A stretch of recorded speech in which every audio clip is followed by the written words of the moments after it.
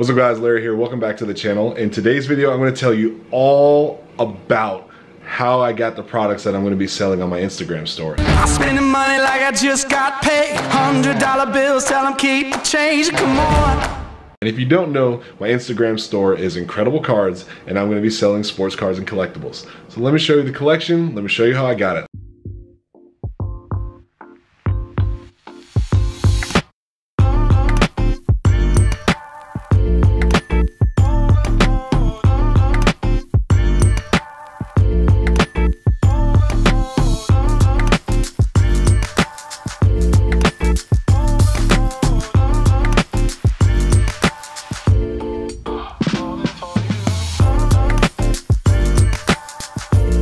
The sports card market, I'll say that there's a lot of people online selling sports cards, which means there's gonna be a lot of competition for, you know, attention. There's gonna be a lot of competition for sales.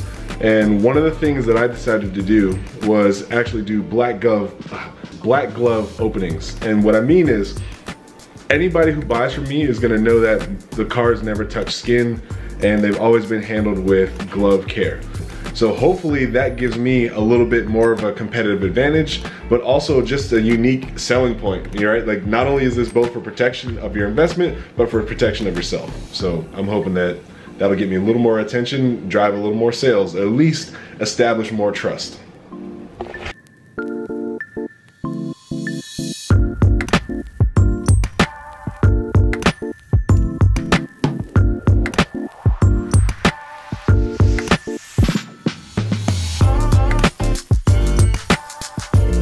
Let's just see who we got. Looks like Cavaliers, maybe Larry Nance Jr. Oh, look at that.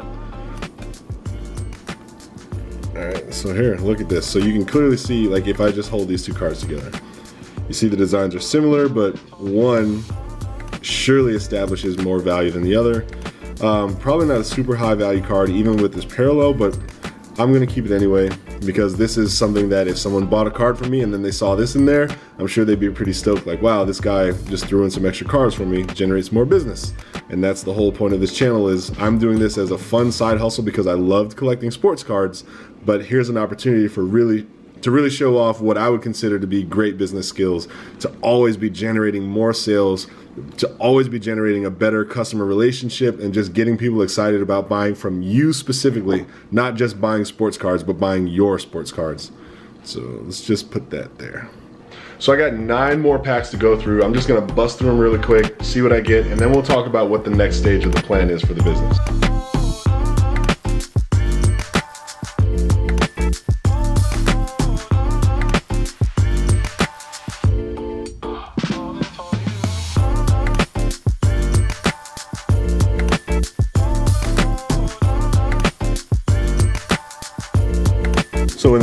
Pack, I pulled another Zion Williamson rookie base card. I'm really excited to have any Zion Williamson rookie card, no matter what brand or set it's from, because I believe if all goes well and the big man doesn't get any more injuries, the more you have, the better, the happier you'll be.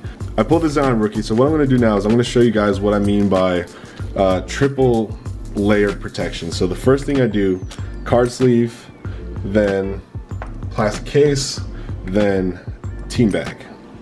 So anybody buying cards from me will first get their card. I gotta do this carefully. Step one, the card itself has its surfaces protected by this thin layer of plastic, which I then protect by a hard layer of UV protectant plastic. And this is important for shipping or just long-term long-term storage. Tap it a couple times. All right, so now I could send this card in the mail and it has something that will also keep it flat, keep it sturdy, but this isn't it. I take it one step further, pull out a team bag, upside down, inside the team bag, remove the plastic film, and this is my triple layer protection. So now this card has been secured by three layers of plastic which will make sure that it's protected from the elements, but it's also rigid and solid so it protects it from movement damage, scratches, especially as I put other cards on top of it and I start moving these around. And as you saw when I originally pulled the packs out of the box, this was the fat pack. So this pack contains the high value card, and usually a fat pack means it's a, a, relic or a piece of a jersey inside of a card. Now, I would absolutely love to pull something LeBron James, something Kobe Bryant, something Zion Williamson, Cam Jordan, uh, Ja Morant. Let's see. Definitely not Joe Harris. No offense to Joe Harris. We're just going to do it on camera. Let's see what we get. And here we go. Oh, Bradley Beal. That's not too, too bad. Have a Bradley Beal piece of jersey. Again. So this is the big pull from that box. And what I will say is this box was worth it. Simply for the fact that we pulled this Zion rookie card. Uh, and the box usually retails for I think $20, but I had to pay $30 on Amazon. Uh, this I know I'll be able to sell for $30 at some point. If I wait even longer, I can sell it for 60, 80, 100. I don't know how many years that may be, but let's just assume two seasons from now, I would imagine that even the base Donruss Zion Williamson card will probably bump up in value. I'm willing to call this a $45 card in two years, this one specifically, as long as things go well. Since I started opening packs to get cards for the store, here are the highest ticket high value items that I'm the most proud of. Ja, or excuse me, RJ Barrett, Ja Morant, Triple J autograph on card. So here's like my little Ja section. I got a couple rookie cards there. I'm really excited about this one. It's like a arriving now rookie card, but it's got that special kind of foil sheen in my house. Only two Zion rookie cards so far, and then another well two Zion like Donruss from a like good good brand that I'm excited about, and one Hoops. This was the first card that I used to start my collection. Good amount of Kobe's cams, uh, Rui Hachimura's, and then just some cool, like uh, Jayson Tatum Prism since he's killing it this year. Anthony Davis, Purple Wave, also Prism, Rui. Uh, Jayson Tatum, Rookie Kings. So these are the super high value plastic stuff. All this stuff will be available on the store on the Instagram at some point. This is the these are the seeds. These are the things that I'm just going to let grow in value. I'm going to keep them protected the plastic, and you probably won't see them on the Instagram store for a while. But here's the first part of the collection. Here we have the box of cards that contains all the stuff that I'm ready to move on eBay right now. So I'm to pull out some of these and show you what I'm talking about. And super sorry if any of this is like hitting the table too hard. And how annoying it can be. So we've got this Trae Young Purple Shock, cool. Russell Westbrook Orange Parallel, Joe Harris, Eric Paschall. This is actually going to be pretty cool. Uh, if this guy turns out to be a beast, I'm sure someone's going to be happy to get it. Ty Jerome. It's another. I forget what this series is called. I think is is it the Purple Shock again? No, this is whatever this is. Uh, it's a, a, parallel from Optic. Ty Jerome rated rookie. Uh, Jonathan Isaac autograph. Joel Bolomboy autograph. Donovan Mitchell rookie. I'm going to go ahead and sell. Josh Jackson rookie. I'm going to sell. Jarrett Culver. If I can get something, we'll sell it these two I'm going to package together. We have the Hunter Renfrow rookie card and then the Star Search jersey. So if I move both of these at the same time, I'm excited to sell those. Boom. RJ Barrett rookie card. I should probably save this because I only have one in my collection right now, but I'm going to go ahead and move this one. Chris Paul silver base prism. So it's just a parallel, but the silver parallels are a lot more rare, and maybe I can get some money for it. And then De'Aaron Fox also. Trae Young, same thing. LeBron James insert uh, and I have a couple of LeBron cards that I really like. This one I'm going to see if I can move it. Uh, Lonzo Ball, orange parallel. Zion Williams insert, but it's a rookie insert. Let's move that there. Klay Thompson parallel. Kawhi Leonard insert. And Larry Nance Jr. autograph. If you're still watching, awesome.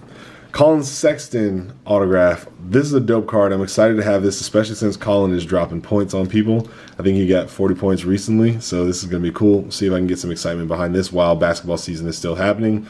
Uh, otherwise, I'll save it till next season. You got NFL jerseys from the rookies and stars, so Christian Kirk, another Hunter Renfrow. So maybe I can put together two of those packages because I think I have another one of his rookie cards. Um, David Montgomery, Ty Jerome rookie jersey patch. Jordan Poole rookie jersey patch. Cody Martin. PJ Washington Jr. More jerseys. Andrew Wiggins jersey. I have two of these actually. So I hope I'm assuming I'm not going to get the greatest price because if I have two of them myself, I imagine like you know unless uh, that just happened to be my luck. There could be a decent amount of these out there.